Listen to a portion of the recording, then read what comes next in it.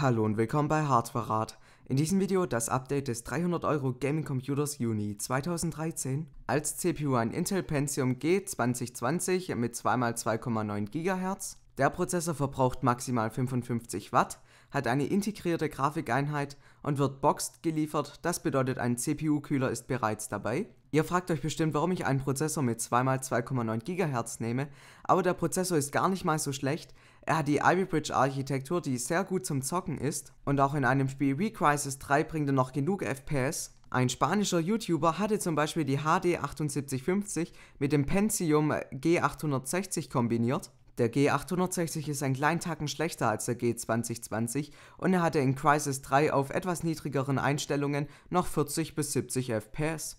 Dann als Mutterbrett ein iSpark H61M DGS mit dem Intel H61 Chipsatz. Trotz dass das Mainboard so billig ist, hat man eigentlich eine Ausstattung, die jedem genügen sollte.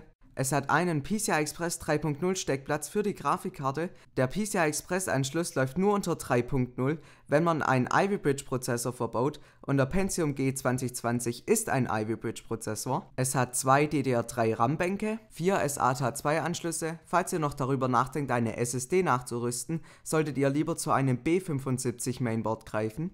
Es hat außerdem zwei PS2-Anschlüsse für alte Maus und Tastaturen, einen VGA-Ausgang, einen DVI-Ausgang, sechs USB 2-Anschlüsse, eine LAN-Buchse und noch eine Soundkarte mit drei 3,5 mm Klinke-Stecker. Als Arbeitsspeicher 4 GB Kingston Value RAM DDR3 1330 CL9. DDR3 1333 ist normal, CL9 ist eine gute Latenz und 4 GB reicht für jedes Game noch aus, solange man nicht 20.000 Programme im Hintergrund laufen hat.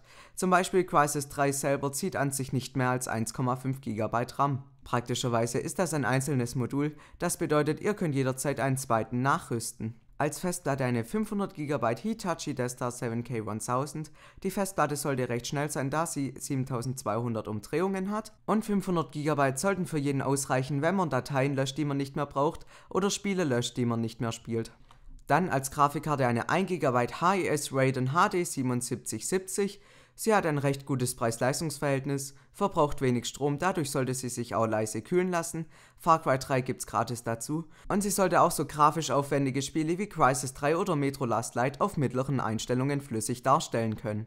Dann als Netzteil ein 350 Watt Corsair VS, 350 Watt reichen locker für den PC aus, er sollte eigentlich nicht mehr als so 150, 160 Watt verbrauchen. Und bei dem Netzteil kann man auch noch stärkere Grafikkarten aufrüsten, die nur einen PCI Express Anschluss benötigen, wie zum Beispiel die GTX 660. Mindfactory schreibt zwar, dass das Netzteil zwei PCI Express Anschlüsse hat, doch auf der Corsair-Seite steht was anderes. Und zu guter Letzt als Gehäuse ein Sharkoon VS3S MIDI Tower. Ihr könnt natürlich selbst entscheiden, was für ein Gehäuse ihr nehmt, doch ich denke für 20 Euro gibt es kein besseres.